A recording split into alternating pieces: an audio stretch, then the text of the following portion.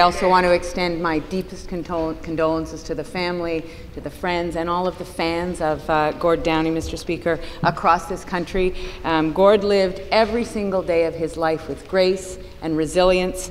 Uh, his music was a quintessential, quintessential part of being Canadian, Mr. Speaker, and I know that there are millions, literally millions of uh, Canadians who are in mourning today, and I want to just uh, say that he will be greatly missed by all of us. What did it mean to have Gord Downie speaking out about Indigenous issues to the rest of Canada, using his farewell tour as well to uh, get that message out? I think it has been um, unbelievably important um, that there's somebody of Gord's stature um, as a non-Indigenous person taking this to heart in, a, in an example that he set for all Canadians. And we are devastated by the loss of Gord Downie. The Tragically Hip have been the soundtrack of our nation that cranked up rowdy arena rock band that was both profoundly intimate and profoundly Canadian. I had the honor of knowing Gord a bit my days as a musician. He wasn't just an incredible artist.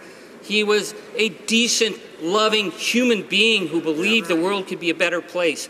And in the face of his own mortality, he took his suffering and brought our nation on a journey of reconciliation and justice because Gord wanted the nation to know that there are thousands of Chanie Wenjacks out there today trying to find their way home from a system that has robbed them of their families, of their identity, and their culture.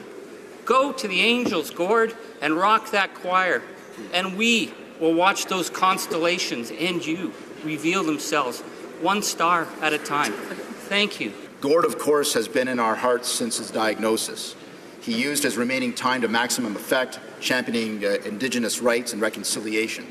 His sense of social justice was legitimate, and his passion burned bright. And of course, the final tour of the HIP last year became an iconic Canadian moment. It felt like all Canada came together because in Gord we trust. And so, as we bid farewell to Gord Downie, we express our condolences to his family and express confidence that Gord Downie's example will help us live with no dress rehearsal because this is our life. I understand that there is agreement for a moment of silence in honor of the late, great Gord Downie, and I invite members to stand.